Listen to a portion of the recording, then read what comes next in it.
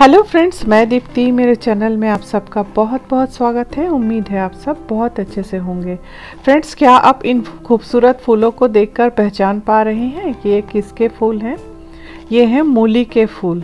तो आज मैं आप सबके साथ में अपने टेरेस गार्डन में लगे कुछ विंटर सीज़न के वेजिटेबल हार्वेस्ट करूँगी। तो चलिए फिर सब्ज़ियाँ तोड़ते हैं। तोड़ते नहीं हैं एक्चुअली निकालते हैं, क्योंकि आज मैं जो सब्ज़ियाँ निकालने वाली हूँ, वो सारी सब्ज़ियाँ मिट्टी के अंदर से निकलने वाली हैं। तो सबसे पहले चलिए इन मूलियों को निकाल लेते हैं। इनके पत्तों को आप देख सकते हैं, कितने हेल्दी और एकदम हरे हरे से हैं। इनकी भाजी भी बहुत अच्छे से बनेंगी। और ये देखिए मैं यहाँ से इस मूली को निकाल लेती हूँ। ये देखिए निकल आई हैं।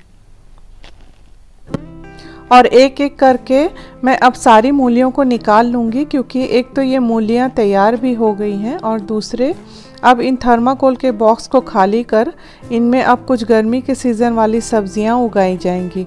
मैंने आपको पुराने वीडियोस में पहले ही बताया है कि हम अपने टेरेस गार्डन में थर्माकोल के बड़े बड़े बॉक्स में सॉइल मिक्सचर भरकर सब्ज़ियाँ उगाते हैं।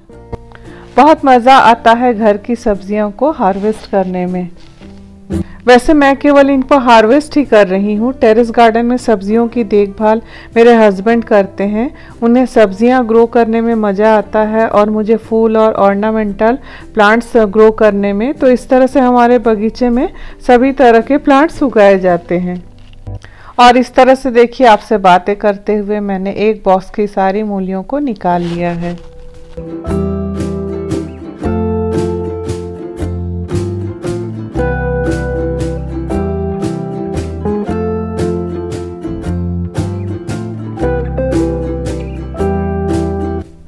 और इस तरह से देखिए एक एक करते हुए मैंने इतनी सारी मूलियों को निकाल लिया है। और अब चलते हैं गाजर की ओर, देखते हैं गाजर तैयार हुए हैं या नहीं। कुछ गाजर तो तैयार हो गए हैं, दिखाई दे रहे हैं।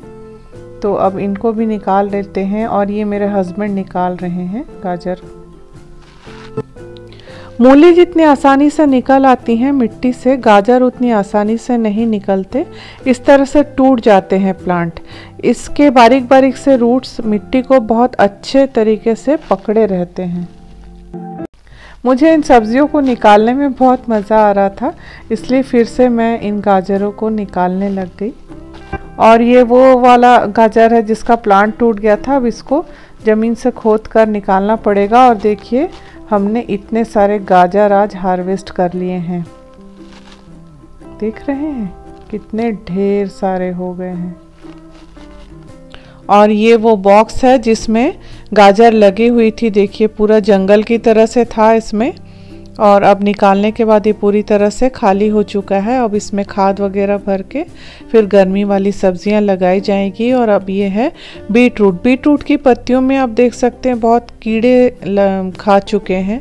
बारिश जब हुई थी तब से इसमें कीड़े लग गए थे और दवा स्प्रे करने के बावजूद भी वो ठीक नहीं हो रहे थे। तो अब ये तैयार भी हो चुके हैं चुकंदर। तो इनको अब निकाल लेते हैं। देखिए कितने अच्छे साइज़ के चुकंदर निकल आए हैं।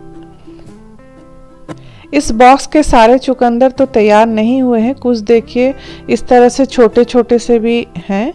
तो जो दिखाई दे रहे हैं कि अच्छे से हो गए, उन्हीं को मैं निकाल रही हूँ। बाकी जिनको देख के लग रहा है कि अभी वे तैयार नहीं हुए हैं तो उनको मैं इसी बॉक्स में छोड़ दूँगी। जब वो बड़े होंगे, तब फिर उनको निकालेंगे। कुछ कुछ बीट रूट्स की ना साइज़ और शेप इतने अच्छे आए हैं उनको देखकर मन खुश हो जा रहा है। कई बार क्या होता है टेढ़े बेड़े इस तरह से भी निकलते हैं, पर ये बिल्कुल सही साइज़ के और सही शेप में निकले हैं। तो देखकर बहुत अच्छा लग रहा है। बाकी ये सारे प्लांट्स में अभी तैयार नहीं हुए हैं तो इनको मैं यहीं छोड़ रही हूँ।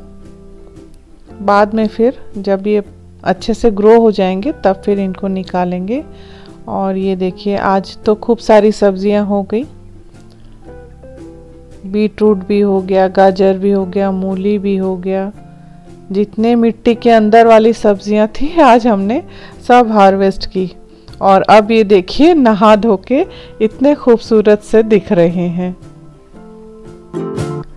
कुछ बीट रूट तो खूब अच्छे साइज़ के आ गए हैं और कुछ को मैंने समय से पहले ही शायद तोड़ लिया है। चलिए, कोई बात नहीं। तो फ्रेंड्स आपको कैसा लगा? मेरे साथ में आज सब्जियों का हार्वेस्ट करके आप ज़रूर बताइएगा और आप भी इस तरह से सब्ज़ियाँ उगाइए और इन्हें तोड़िए और इनका स्वाद और हार्वेस्ट करने का मज़ा दोनों लीजिए। तो फिर मिलती हूँ अगले वीडियो में। तब तक के लिए आपसे विदा लेती हूँ। Bye bye and take care